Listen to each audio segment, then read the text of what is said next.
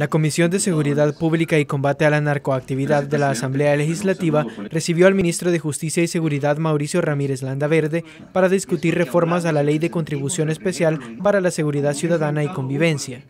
Los legisladores plantean que sea el Ministerio de Seguridad, en vez del presidente de la República, quien maneje los fondos de dicha contribución, para que estos sean empleados de forma más eficiente en la represión del delito.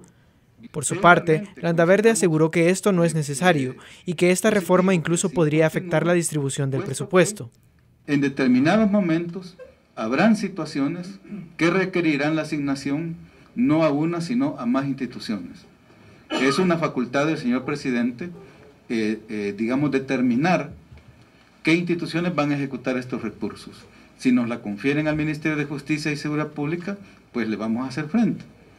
Sin embargo, hay que tomar en cuenta que eh, determinados, digamos, programas pudiesen tener con esa modalidad de ejecución problemas. Por ejemplo, el pago de bonos.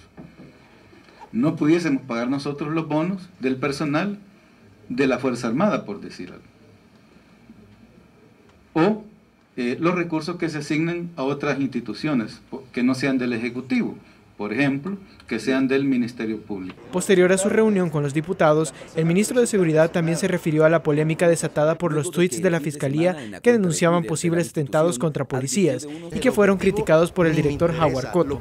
Todas las agencias del Estado que a través de su trabajo obtienen información, analizan información, tienen también la responsabilidad de difundir para otra institución u otra persona para la cual dicha información sea de interés.